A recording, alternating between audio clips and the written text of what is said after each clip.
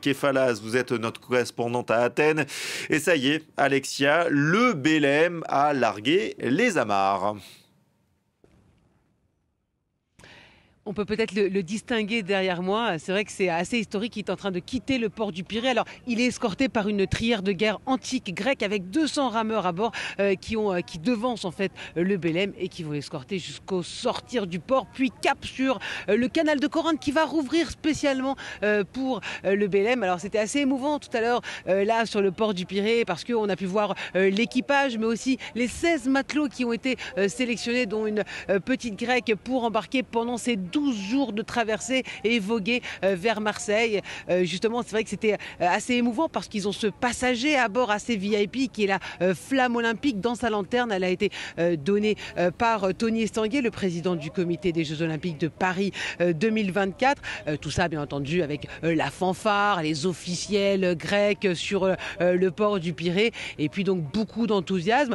Pour le moment, la flamme, alors on peut peut-être pas la voir derrière moi, elle est sur le pont supérieur du euh, jusqu'à temps que euh, euh, le trois-mâts français quitte le port du Pirée. Elle va rester sur le pont supérieur.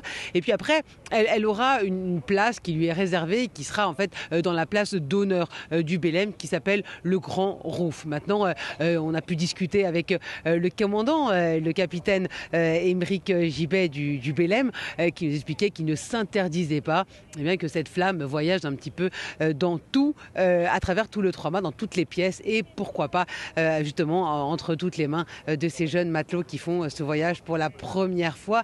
Euh, bien entendu, il faudra d'abord négocier avec les gardiens parce qu'elle n'est pas montée toute seule à bord cette flamme. Il y a trois gardiens qui vont se relayer jour et nuit, le, 3-8 finalement, pour protéger cette flamme de manière à ce qu'elle arrive au port de Marseille le 8 mai prochain sans s'être éteint à un seul moment. Ah oui, ça c'est le privilège des, passagers VIP, Alexia. C'est un long périple hein, quand même qui commence pour la flamme olympique.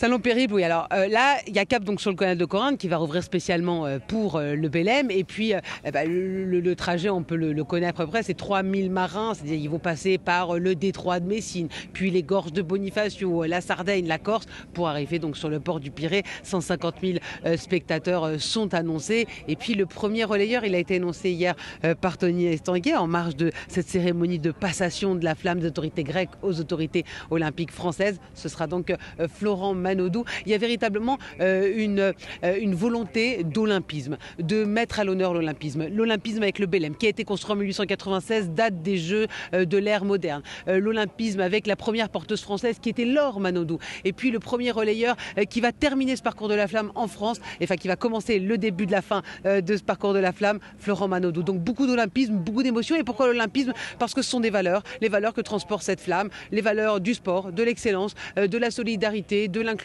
et aussi de paix, surtout en cette conjoncture un peu difficile. Merci beaucoup Alexia Kefalas de nous avoir fait vivre le départ